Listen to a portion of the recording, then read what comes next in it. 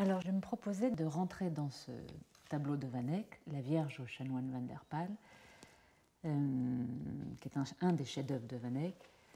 Ça fait maintenant euh, plus de quatre ans que je, que je vis avec. Donc en fait, je, suis rentrée dedans comme un géographe euh, qui, va faire une étude topographique de ce, de ce territoire, de cette immensité qu'est ce tableau.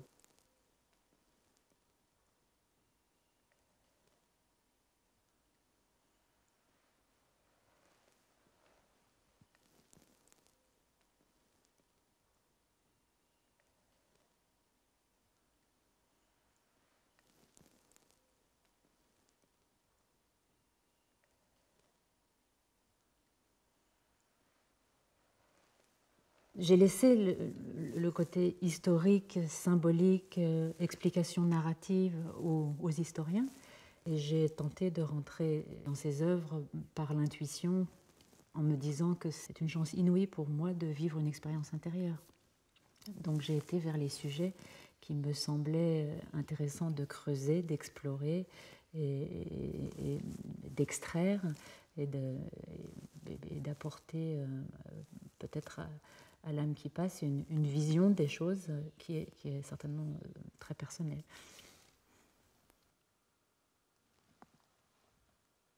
Je me suis rendu compte qu'au XVe siècle, souvent, les vierges étaient représentées sur ce modèle-là. C'est-à-dire que euh, cette, cette partie-là est tout à fait fascinante, qui s'appelle le Sedes Sapientiae, le trône de sagesse, le trône de l'éveil, et la Vierge est souvent euh, représentée euh, dans un triangle, comme ceci, avec ce trône qui, euh, qui représente une sorte de, de circulation d'énergie qui, qui rentre dans, comme si il rentrait dans le céleste.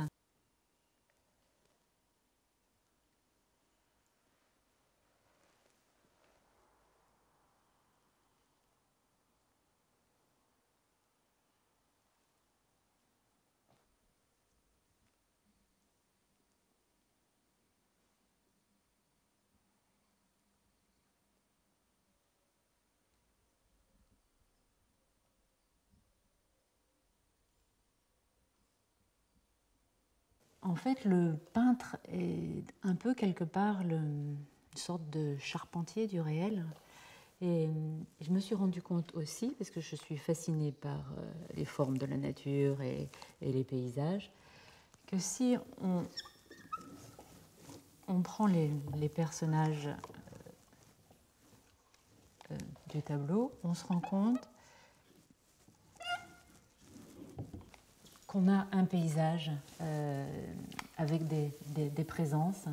Euh, le chanoine Van der Baal, Saint-Georges, euh, Saint-Donatien, la Vierge.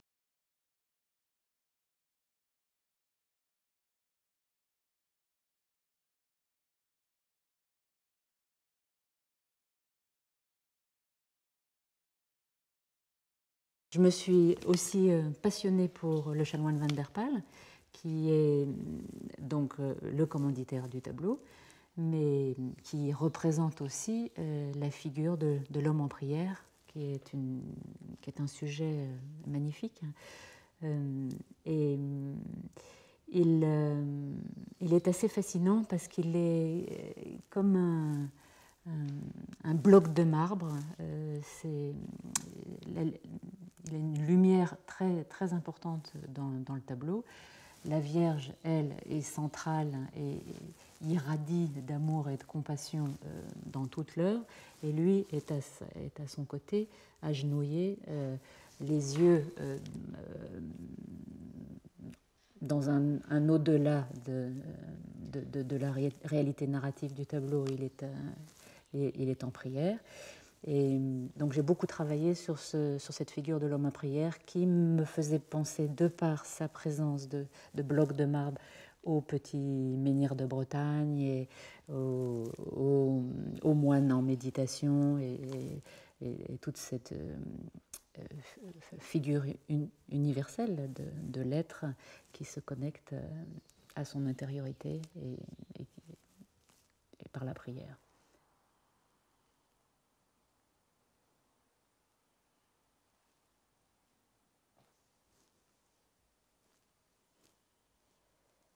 On dit toujours que Van Eyck s'est peint dans euh, le tableau.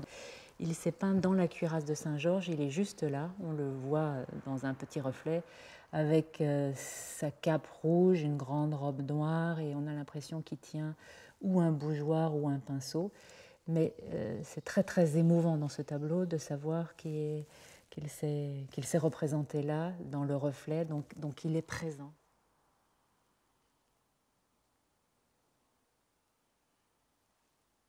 Mais ce qui m'a fasciné dans cette cuirasse de Saint-Georges, c'est de travailler euh, les réflexions de lumière euh, dans la cuirasse. Et comment euh, la lumière arrive, rentre dans les couches de glacis successives parce que les maîtres flamands ont inventé une technique absolument admirable qui est cette, euh, cette, cette, possibilité de rentrer dans les profondeurs de la matière. Donc j'ai passé aussi des mois à essayer de retrouver euh, cette vibration, cette expérience euh, méditative, vibratoire de la lumière dans les réfractions de la cuirasse de Saint-Georges. Et dans cette saisie fugitive de la présence du peintre, j'ai retrouvé toute, toute l'essence de l'abstraction. Donc j'ai toute une série d'encre sur papier où je cherche la présence de Van Eyck dans, dans la cuirasse de Saint-Georges.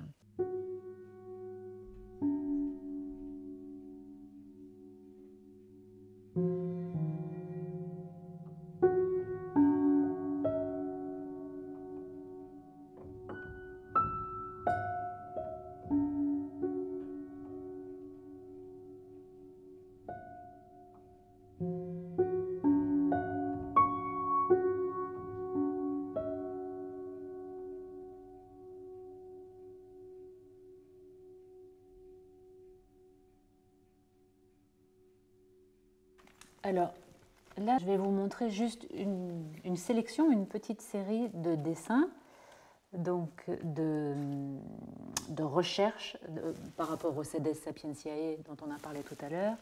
Euh, comment partir de, cette, de, ce concept et d'arriver à, épurer la ligne. Euh, justement, comme, comme disait Paul Klee, pour laisser rêver les lignes. Hein sur, sur, sur cette idée-là. Donc on sent bien le, trône avec l'entrée dans le ciel, la présence de la Vierge. Donc cette recherche de, dynamique. Et là, on arrive à cette une expression un peu plus minimale. Donc après une longue réflexion de finalement cette, cette circulation qui rentre dans le céleste.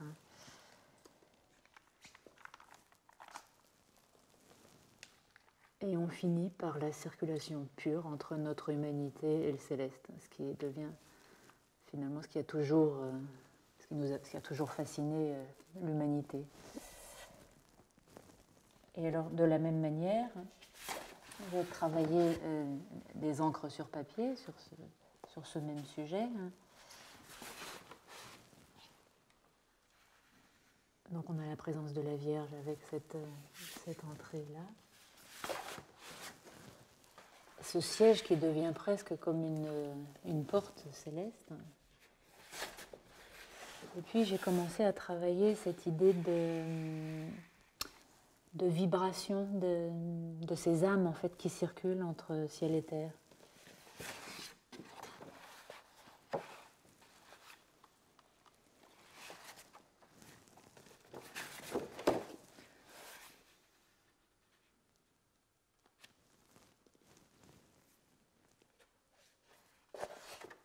Et puis l'épure totale de cette idée-là, c'est juste euh, ces deux traits, avec ce couloir de circulation des énergies. Donc il y avait du travail dans le carnet avant que vous mettiez à dessiner Oui, ça, c'est un, le carnet, c'est un petit laboratoire euh, expérimental de la pensée. Et, donc, mes journées de, se passent avec différents, rituels. Il y a le rituel de, la peinture le matin, où là, il est bien évidemment, on se vide de toute forme de concept, de toute forme de pensée pour être à l'écoute de la vie, de la matière et de l'esprit.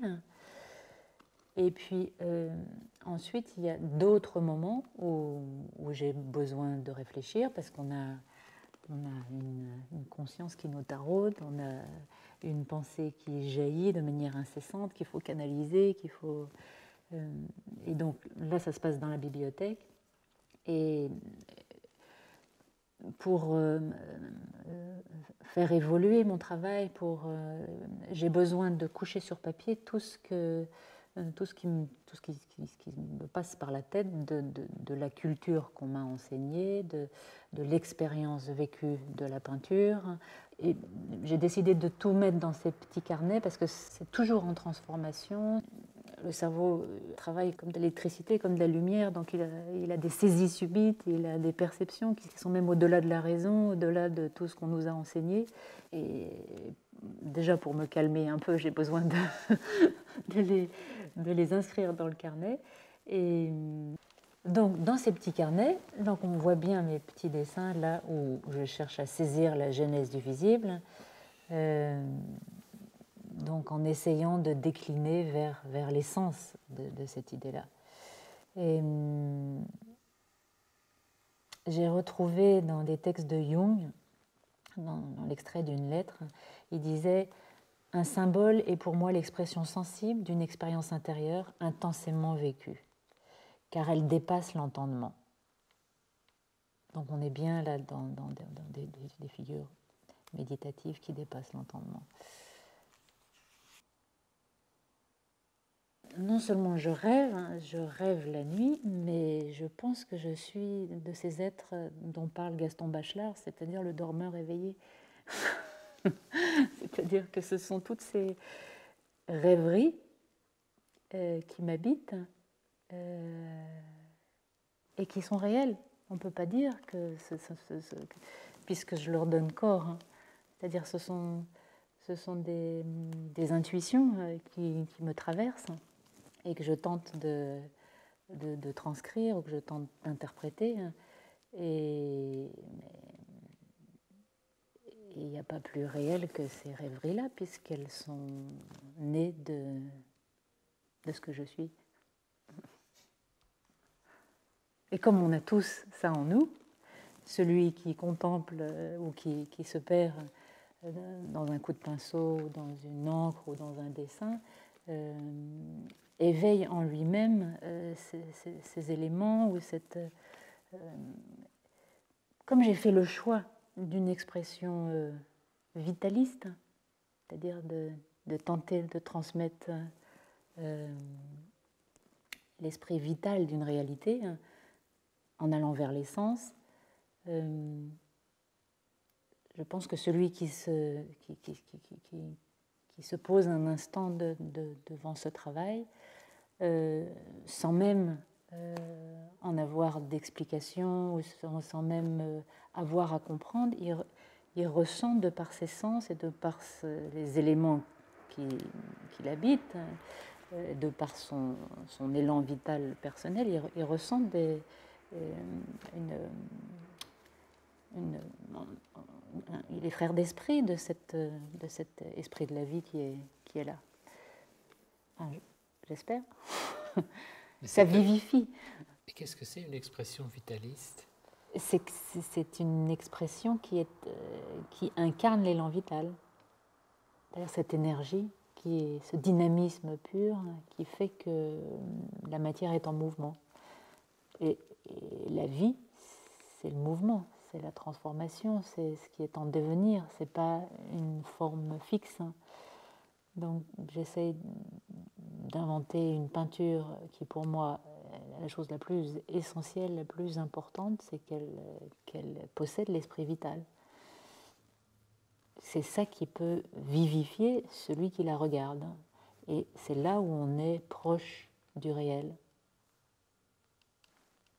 Et c'est vrai que c'est un défi un peu fou que de rendre hommage aux maîtres flamands qui étaient vraiment les, maîtres de, l'hyperfiguration, mais dans un détail et dans euh, une sacralisation de la moindre forme de notre petit univers à un point euh, optimal.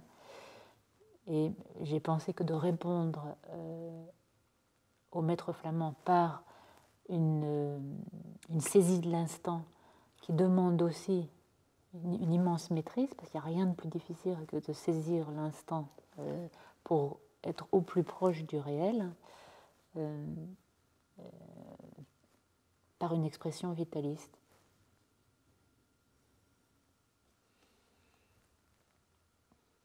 Et là, cette, cette phrase d'Angelus Silesius est absolument euh, extraordinaire.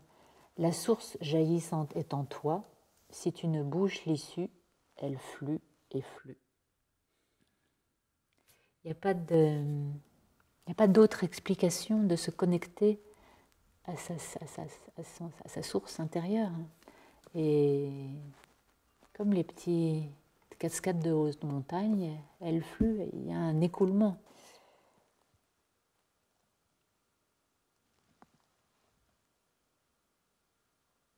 Jean Toller, dans son cantique spirituel, il a dit Dans ce flux et ce reflux, toutes choses sont distinctes et, cependant, elle se trouve connexe dans une sorte d'unité, et elle demeure intérieurement sans sortir. Connaître l'un en tout et tout dans l'un, quelle magnifique invention. Donc quand je sors de ces longues séances de peinture où je suis dans un chaos innommable de matière euh, et que je suis épuisée d'avoir euh, donner toutes mes, toutes, mes substances euh, de santé euh, à la toile. Et quand je me, j'ouvre un livre et que je tombe sur une pensée comme ça, c'est un, c'est un grand, grand, encouragement, une grande consolation et, et, de pouvoir partager avec euh, d'autres esprits ce, ce, que je vis moi-même dans l'expérience de la peinture, c'est, c'est quelque chose de très, très émouvant. Donc, je suis dans une solitude effroyable, mais en même temps en connexion et en, grande profondeur d'échange avec euh, euh, tout ce que les hommes ont pu euh, vivre dans leurs expériences intérieures au cours de, toute l'histoire de,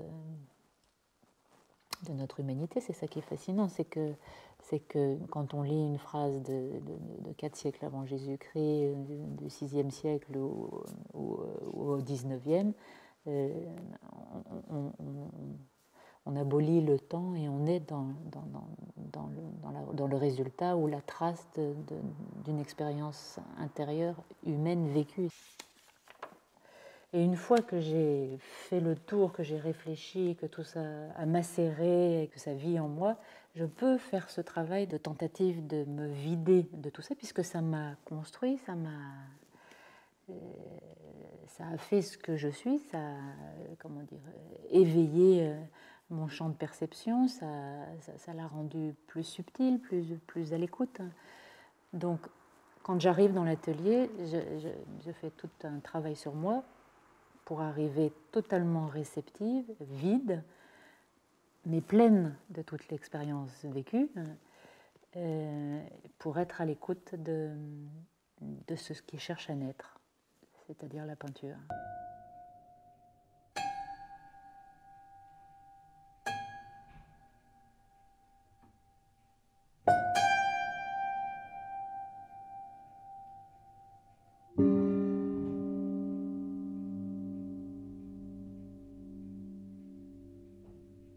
Il y a une autre, un autre grand travail que j'ai fait qui m'a totalement fasciné, ce sont ces vitraux là qui sont derrière le, trône de la Vierge, le Sedes Sapientiae.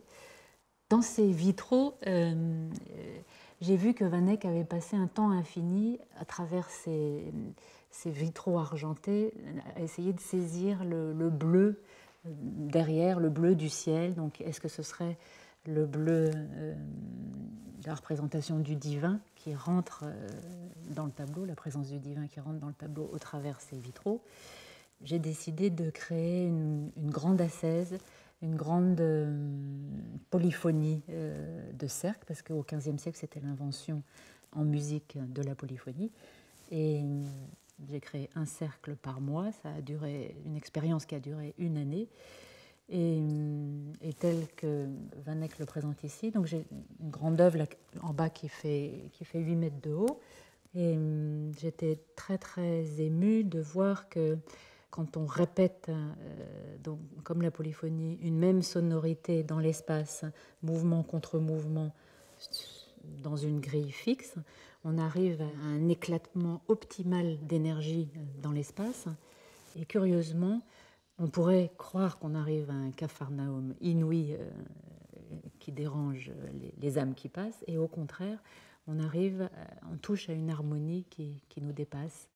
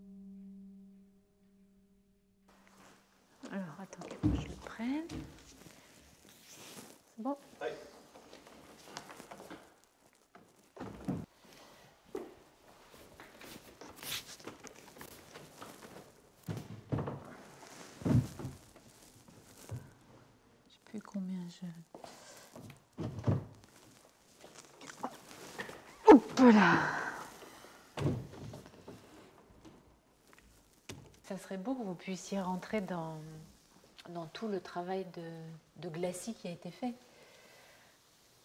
Parce que les maîtres flamands sont les grands maîtres de, des glacis, c'est-à-dire des couches euh, successives de transparence et de, de profondeur euh, et de jeu avec les pigments et les, vernis qui fait que la, la réfraction de la lumière donne une, spiritualité absolument extraordinaire.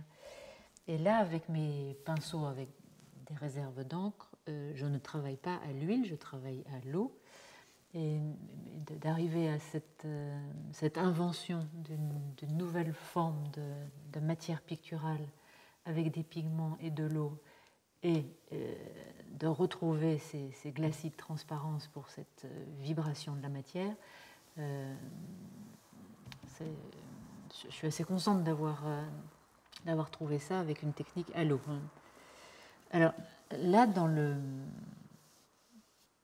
fond des verres, il y, a une, il y a un travail immense pour représenter les structures du réel. Donc on est vraiment dans une interprétation abstraite euh, les maîtres flamands se donnaient un mal fou pour représenter euh, la figuration, c'est-à-dire euh, l'hyperfiguration du moindre petit brin d'herbe, du caillou, des formes de la nature.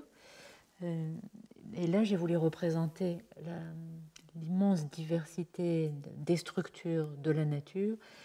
Et je me suis plongée dans ces glacis rouges de la robe de la Vierge de Van Eyck que j'ai essayé d'interpréter là dans ce Sedes Sapientiae avec toute la, variété infinie des profondeurs de, ce rouge.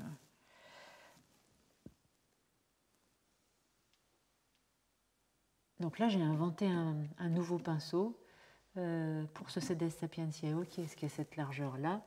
À la différence aussi de, de, la technique des maîtres flamands, comme j'ai une charge d'encre dans mon pinceau, j'ai la possibilité, en début de coup de pinceau, d'avoir des, matières euh, et du relief dans les encres, comme ici. Et tout le défi impossible, c'est dans un. Le trait de pinceau est comme un corps vivant. Et, donc là, dans le même trait, de pouvoir avoir euh, ce relief de ces trois dimensions, euh, où on peut, on peut lire d'ailleurs à l'intérieur quelques fractales, comme ces grands fleuves du monde qu'on lit là-haut, et en même temps euh, cette transparence euh, que nous ont enseigné les maîtres flamands. voilà, c'est quelque chose de, de, très, très fascinant.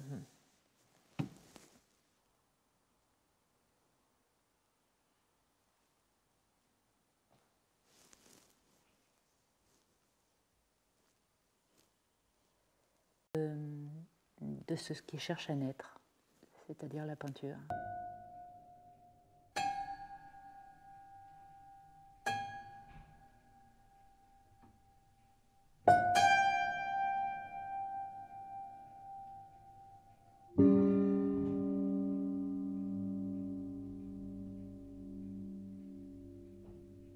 Il y a une autre, euh, un autre grand travail que j'ai fait qui m'a totalement fasciné. Ce sont ces vitraux là, qui sont derrière le, trône de la Vierge, le Sedes Sapientiae. Dans ces vitraux, euh, j'ai vu que Van Eyck avait passé un temps infini à travers ces, vitraux argentés à essayer de saisir le, le, bleu derrière, le bleu du ciel. Donc, est-ce que ce serait le bleu euh, la représentation du divin qui rentre euh, dans le tableau, la présence du divin qui rentre dans le tableau au travers ces vitraux, j'ai décidé de créer une, grande ascèse, une grande euh, polyphonie euh, de cercles, parce qu'au XVe siècle, c'était l'invention en musique de la polyphonie. Et j'ai créé un cercle par mois. Ça a duré une expérience qui a duré une année. Et, tel que Van le présente ici. Donc j'ai une grande œuvre en bas qui fait, qui fait 8 mètres de haut. Et hum, j'étais très très émue de voir que quand on répète, euh, donc, comme la polyphonie, une même sonorité dans l'espace, mouvement contre mouvement, dans une grille fixe, on arrive à un éclatement optimal d'énergie dans l'espace. Et curieusement, on pourrait croire qu'on arrive à un capharnaüm inouï euh, qui dérange les, âmes qui passent, et au contraire, on arrive, on touche à une harmonie qui nous dépasse.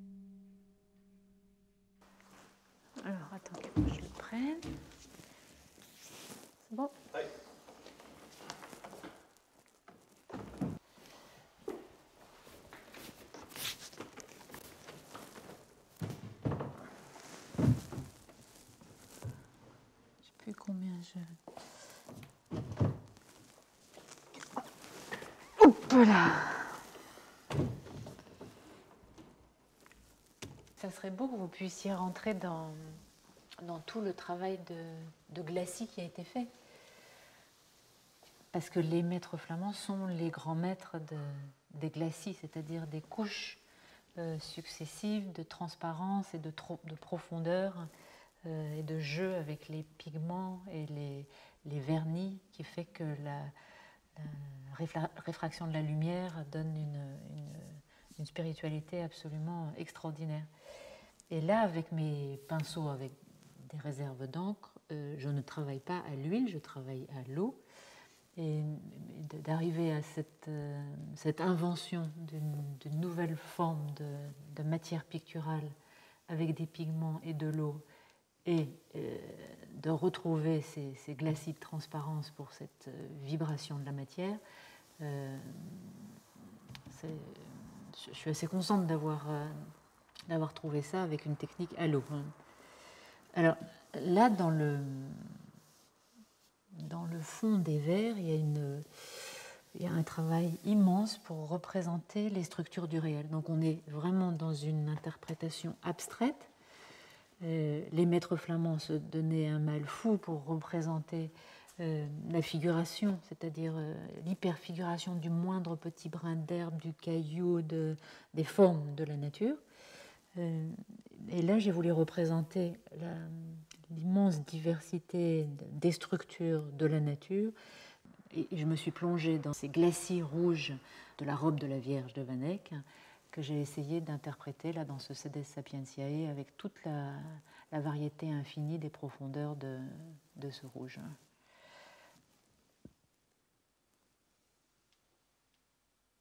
donc là, j'ai inventé un, nouveau pinceau euh, pour ce Cedes Sapientiae, qui est, qui est cette largeur-là. À la différence aussi de, la technique des maîtres flamands, comme j'ai une charge d'encre dans mon pinceau, j'ai la possibilité, en début de coup de pinceau, d'avoir des, matières euh, et du relief dans les encres, comme ici. Et le défi impossible, c'est dans un le trait de pinceau est comme un corps vivant. Et, donc là, dans le même trait, de pouvoir avoir euh, ce, relief de ces trois dimensions, euh, où on peut, lire d'ailleurs à l'intérieur quelques fractales, comme ces grands fleuves du monde qu'on lit là-haut, et en même temps, euh, ces transparences que